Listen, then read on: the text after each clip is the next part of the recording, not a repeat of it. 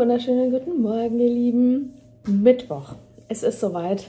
Eingewöhnung ja, für Samo in den Kindergarten. Man hat gerade schon die Sachen runtergebracht. Das ist Lias sein alter Rucksack. Da neuer Name steht auch drin. Den alten muss ich mal oben wegmachen. Aber ich hatte zwischendurch gedacht, so auch so seinen eigenen neuen kaufen oder sowas, aber das wäre ja voll die Verschwendung, weil das ist echt ein richtig guter und auch ein teurer Rucksack hier. Der ist von Affenzahn. Ähm, der ist winzig, solange der funktioniert, ist es, glaube ich, äh, auch in Ordnung. Ansonsten werden wir auch so viele andere Rucksäcke.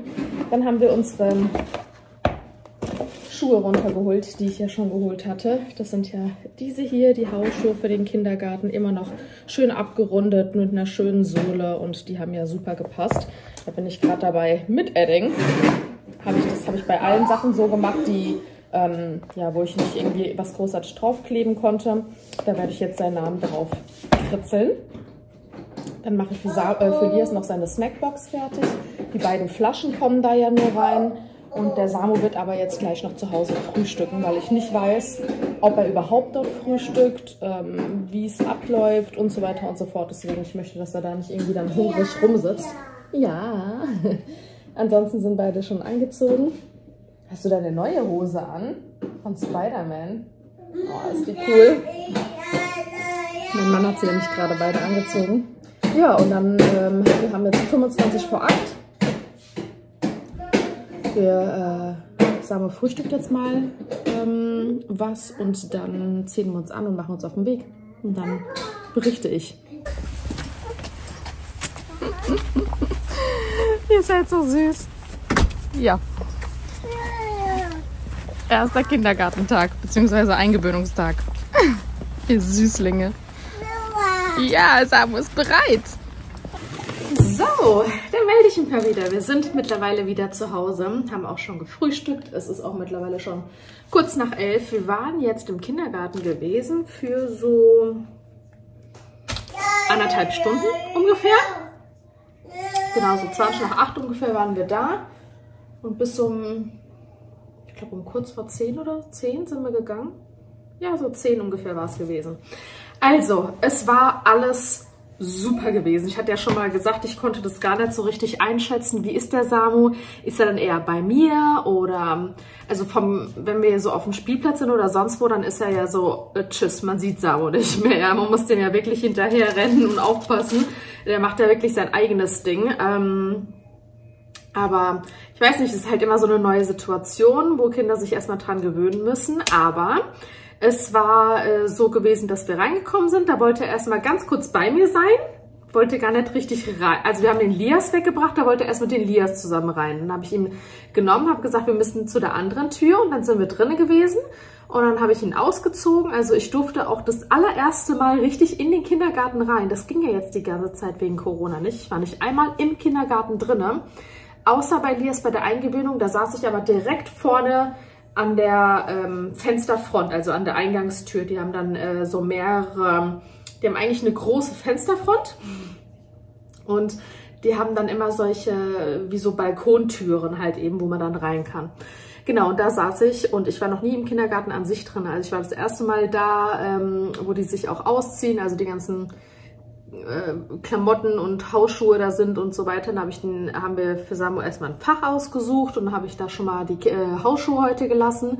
Habe aber noch Papierkrams mitbekommen und eine Liste, wo, was ich halt alles mitbringen muss. Wusste ich auch so schon, aber ich werde später, wenn der Samu ähm, ins Bett geht, auf jeden Fall auch nochmal zum DM. Ich muss sowieso ähm, Einkauf machen und da dann halt eben ein paar Sachen besorgen, sowas wie Wickelunterlagen, dann Pampis, Feuchttücher, ähm, ich muss ein gescheites Bild raussuchen und dann Passfotos auch drucken lassen. Beim DM kann man das ja machen.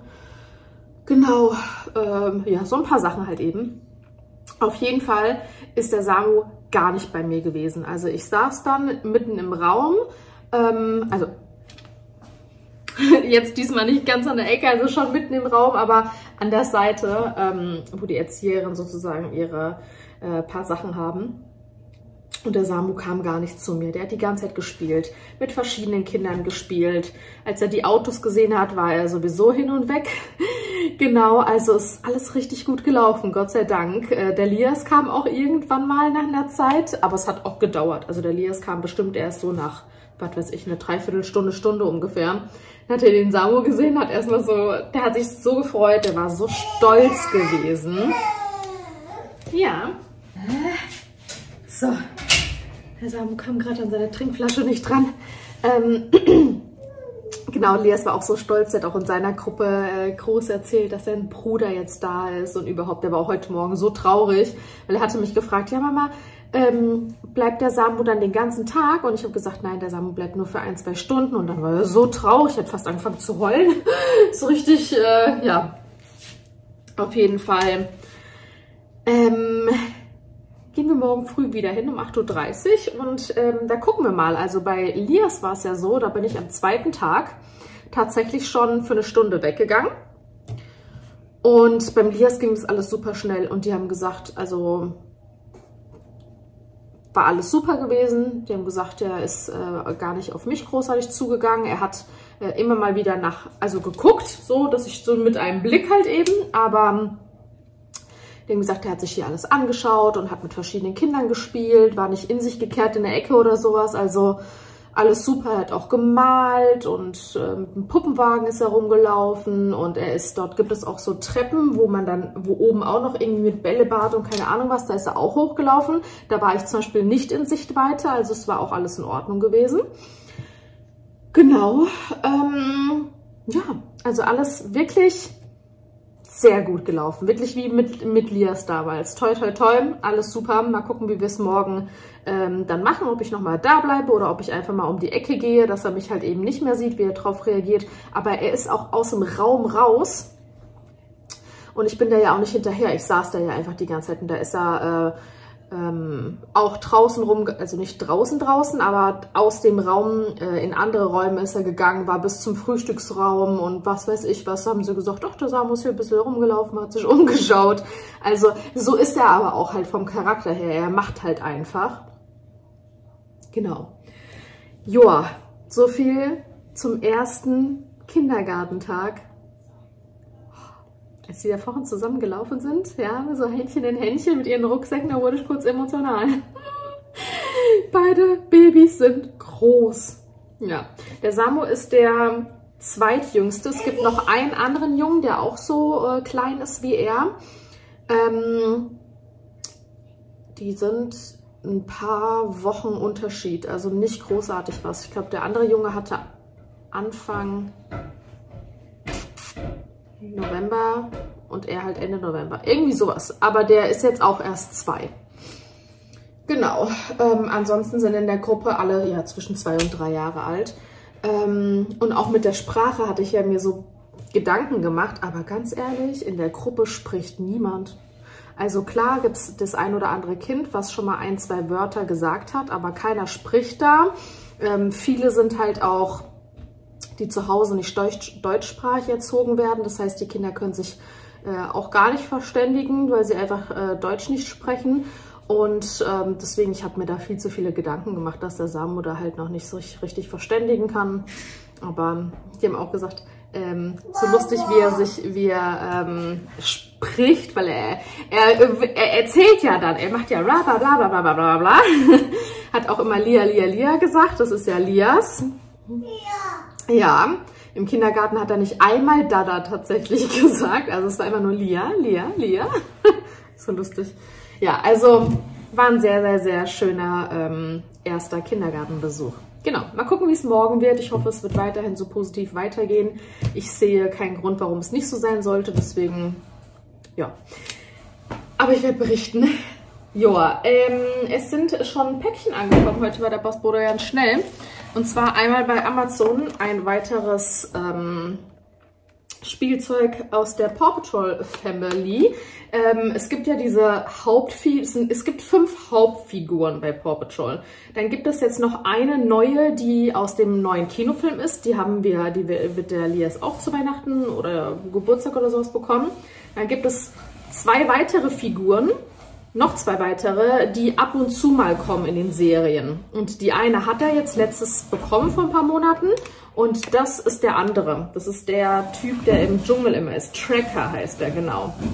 Jungle. Also der ist immer im Dschungel unterwegs. Der sieht so lustig aus mit seinen großen Ohren. Richtig goldig. Und den ähm, hat er eben noch nicht. Und ähm, ja, mit dem und der anderen, die er dann noch bekommt, hat er dann tatsächlich mal alle beisammen. Und dann ist hier eines dieser ähm, Weihnachtsröcke gekommen. Diese Fellgeschichte, wo ich euch gesagt habe, ist jetzt natürlich noch total zerknittert. Das muss man einmal schön ausschütteln, vielleicht sogar drüber kämmen. Es fühlt sich auf jeden Fall weich an. Ähm, ich hatte ja zwei Stück bestellt. Ich war mir nicht sicher. Das ist jetzt einmal komplett nur weißes Fell und das andere hat auch weißen, äh, weißes Fell. Da sind aber noch silberne Sterne mit drauf. Ja, da muss ich mal gucken, was davon gescheit ist. Ich weiß auch nicht, ob das hier groß genug ist. Ich muss das mal in die Ecke legen. Es könnte, ist, ich denke, es ist noch, ist noch okay. Ähm, soll ja auch nicht zu groß sein, dass es zu sehr in den Raum rein äh, ragt, aber sowas in der Art hatte ich mir vorgestellt, weil unser, ähm, was machst du denn mit dem Stuhl? Ja, was denn? Unser, äh, unser Stuhl. unser Weihnachtsbaum ist ja mit diesem weißen Schnee und da fällt auch immer mal wieder was runter. Und deswegen ist es gescheit, auch was in der Farbe unten liegen zu haben. Das nehme ich ja immer, das kann man ja hier aufmachen. Ist bei unserem alten oder unserem aktuellen auch so. Das habe ich ja immer genommen, einmal ausgeschüttelt, abgesaugt. Äh, das ist jetzt nicht das Ding, aber wenn ich jetzt sowas zum Beispiel in der Farbe unten hinlege, dann, ist, dann sieht man halt eben ständig diese ähm, kleinen Schneeflöckchen. Da fällt jetzt auch nicht sonderlich extrem viel ab, aber klar, die Jungs, die Katze, irgendwer kommt immer mal dran und dann rieselt halt mal was runter. Ähm, ja, jetzt warte ich aber noch auf den zweiten, den ich bestellt habe und dann entscheide ich mich, welchen von den beiden ich behalten werde. Das sind die Sachen, die jetzt von Amazon gekommen sind. Und noch eine Sache ist gekommen von Amazon und zwar habe ich hier nochmal was für einen Kalender bestellt. Genau, ich mache nämlich noch einen Kalender Ah, Samu. Und mir haben solche Zahlen hier gefehlt. Und ich sag's euch, diese Zahlengeschichte, die gab es ja vor ein paar Wochen überall. Egal wo, für einen Euro, bei Kick, Teddy, Action, was weiß ich was, überall. Und jetzt gab es es nirgendwo. Wirklich, Samu, nein. Nein, lass die Lampe bitte stehen. So, sag mal. Ja, schieb sie wieder zurück. Ja. Aber jetzt in Ruhe lassen. Dankeschön. Äh, ich habe ja noch mal was gesucht und bin dann wirklich in allen möglichen Läden gewesen und ich habe nirgendwo auch nur eins gefunden.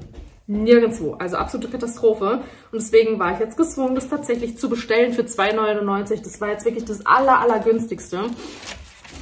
Also völlig absurd. Dann habe ich ein Päckchen bekommen und zwar Moments. Irgendwas. Warte, wie heißt es hier? Irgendwas von Moments. Ich habe damit überhaupt nichts. Moments Box von der Moments Box GmbH. Ich konnte damit überhaupt gar nichts anfangen. Ich habe es nämlich schon gesehen. Ich habe ja so eine äh, App, wo ich dann immer sehe von der Deutschen Post, DHL, was da für Pakete kommen. Und es stand jetzt seit ein paar Tagen schon drin und ich habe mir nur gedacht, was oder wer bist du? Jetzt habe ich hier aber gesehen, von der Referenz steht Oceans Apart. Ja, packen wir mal zusammen aus. Ich habe nämlich überhaupt keinen blassen Schimmer. Okay. Thank you Moments. Ich kriege es hier gar nicht raus. Hier ist nämlich noch ein Karton drin. ja, Samu. Ich weiß, dass Ocean Apart hatte ja das äh, Event absagen müssen wegen Corona. Und die haben dann in der Mail, wo sie abgesagt haben, geschrieben, von wegen, sie würden jedem noch was zusenden als kleine Entschuldigung. Das wird es wahrscheinlich sein. Celebration Moments.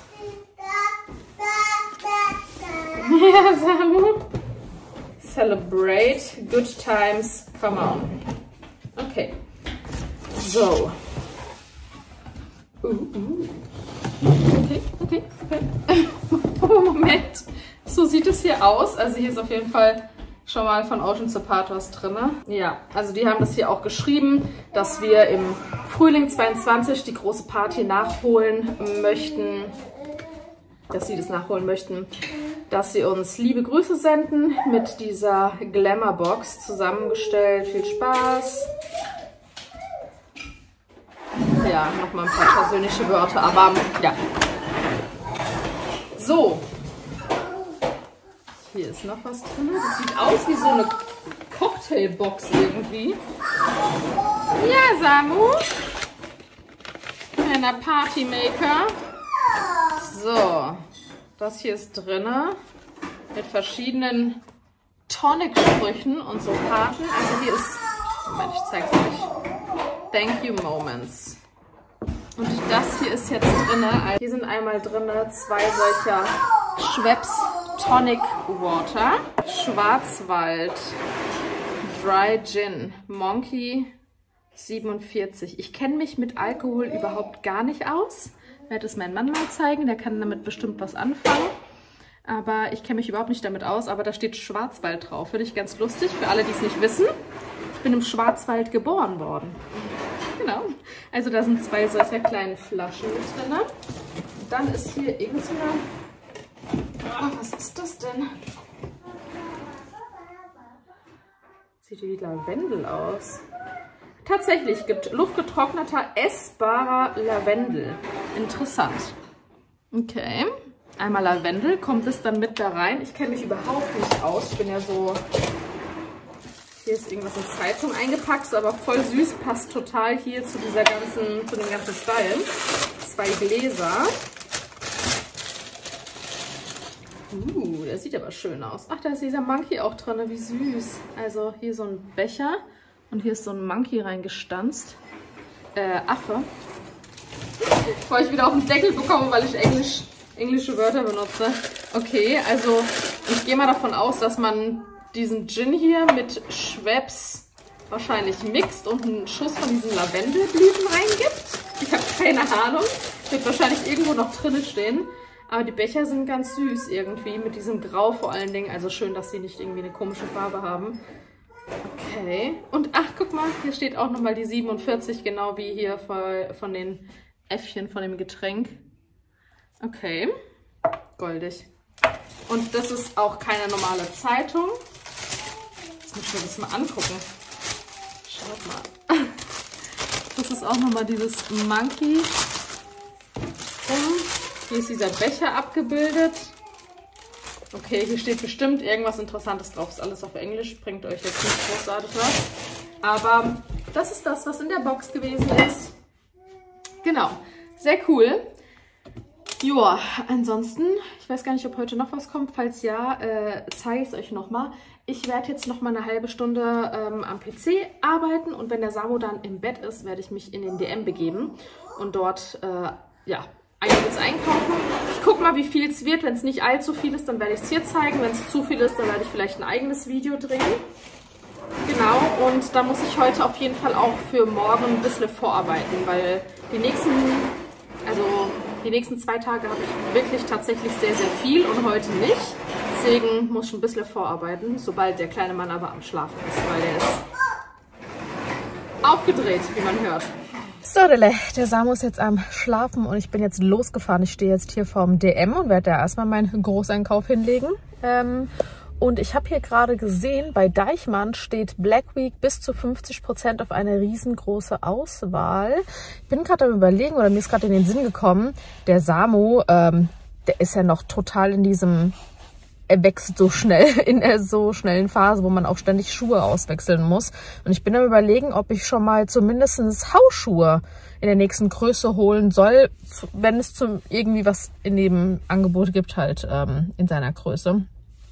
Mal gucken, ich ähm, hüpfe da, glaube ich, mal kurz rein. Und ich muss auch kurz zum Action noch rein. Da weiß ich aber ganz genau, was ich haben möchte.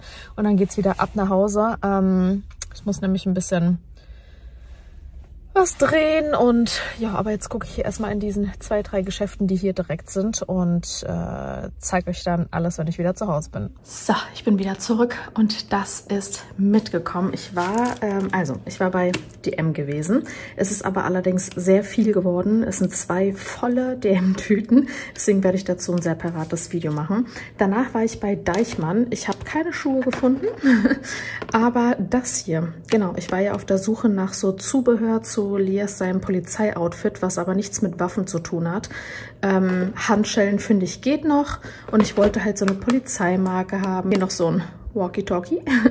Und ich hatte noch über Amazon so ein Licht bestellt, so ein Verkehrslicht mit grün und rot auf der Seite. Fand ich äh, ganz cool, genau. Das ist mitgekommen, das hat 7,99 gekostet. Danach war ich beim Action. Und zwar ist mir das hier, als ich das das letzte Mal gesehen habe, nicht mehr aus dem Kopf gegangen für den Samo. Ähm, der liebt es ja und der hat hier letztens auch ganz lange mit so einem LKW gespielt, der auch hier so eine, so ein, ja, wo man dann verschiedene Autos draufstellen kann. Also irgendwie ist es mir nicht aus dem Kopf gegangen, deswegen habe ich es jetzt nochmal geholt.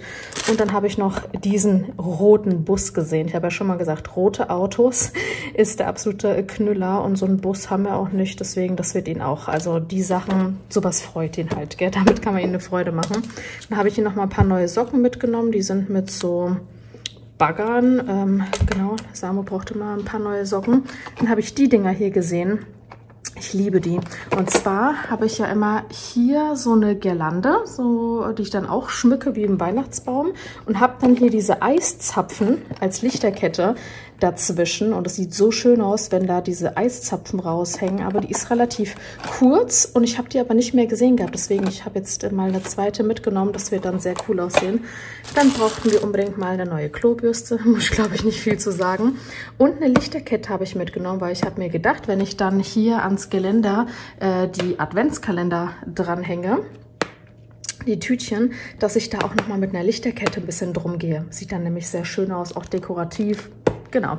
So, und das äh, habe ich euch vorhin ja schon erzählt, dass da noch ein zweites kommt. Hier ist noch das andere Amazon-Paket vorhin, als ich raus bin, gekommen. Und ich werde auf jeden Fall das behalten. Das gefällt mir viel besser. Das ist um Weiten wirklich weicher. Das ist richtig, richtig weich. Die Sternchen hier dazwischen finde ich auch ganz süß, aber vor allen Dingen hier von, von, der, ähm, ja, von der Qualität her ist das viel besser. Deswegen, das wird auf jeden Fall bleiben. Das andere schicke ich dann zurück. Genau, wir haben mittlerweile schon 2.30 Uhr, unglaublich. Ich werde jetzt mal schnell was essen und äh, weiterarbeiten. Der Samu schläft noch und dann, ja, in einer Stunde kann ich auch schon Elias abholen.